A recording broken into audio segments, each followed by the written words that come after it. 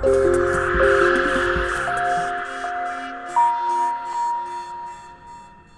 Власти Узбекистана устраивают промывание мозгов известной правозащитнице Елене Урлаевой. Сценарий обычен и банален. Представители местной Фемиды объявили ее недееспособной и опасной для общества. В начале мая Урлаевой прописали сильнодействующие психотропные лекарства. Гражданская активистка, уже несколько лет находящаяся на принудительном лечении, утверждает, что таким образом чиновники пытаются воспрепятствовать ее деятельности. По словам правозащитницы, предписанные лекарства наносят большой вред ее здоровью. В случае отказа от приема таблеток активистку грозят упрятать в психиатрическую больницу. Урлаева была вынуждена обратиться с просьбой о помощи к международным организациям.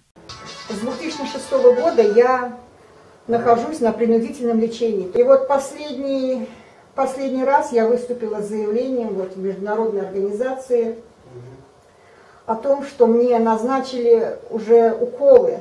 Это сильный действующий укол, Мадетен-депо, мне его назначили один раз в месяц. Это все мешает нашей работе. Вот видите, у нас здесь горячая линия, но я не могу так работать в полную силу. У меня начались депрессии. Несмотря на действие психотропных препаратов, Елена Урлаева продолжает свою работу. В ее квартире расположился офис организации. Тут находится горячая линия, и здесь же хранятся плакаты от проведенных ею пикетов в защиту находящихся в тюрьме соратников. К Елене Михайловне ежедневно приходят ташкентские правозащитники. Вместе они обсуждают обращение людей, ущемленных в правах. В последнее время ташкентские активисты думают над тем, как спасти своего соратника от рук властей. Шухрат Рустамов на днях разослал жалобы на неправомерные действия психиатров министру здравоохранения, генеральному прокурору республики, а также в районный суд. По Конституции запрещено проводить или лечение принудительно не имеет права никто. Она не хочет получать эти уколы. А ей угрожает, если вы не будете получать, мы вас опять уложим в психбольницу. Это было направлено, чтобы, э, как, как говорится, прекратить ее деятельность в области правозащиты. Им дает такие права это наше руководство управления государством.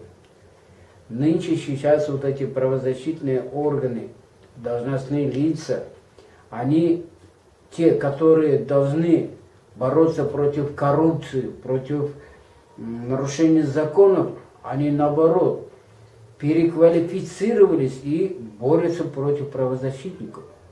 Если начнете копать этот вопрос, конечно, не доведет вас до больших чиновников. Поздоровайся со всеми. Это Мухаммад наш, тоже юный пикетчик.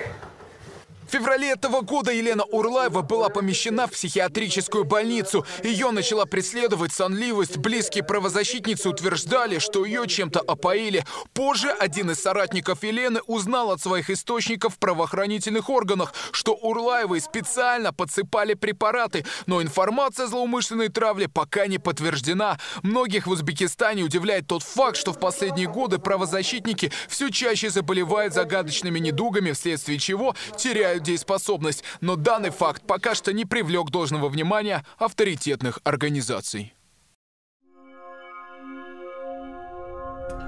Thank you.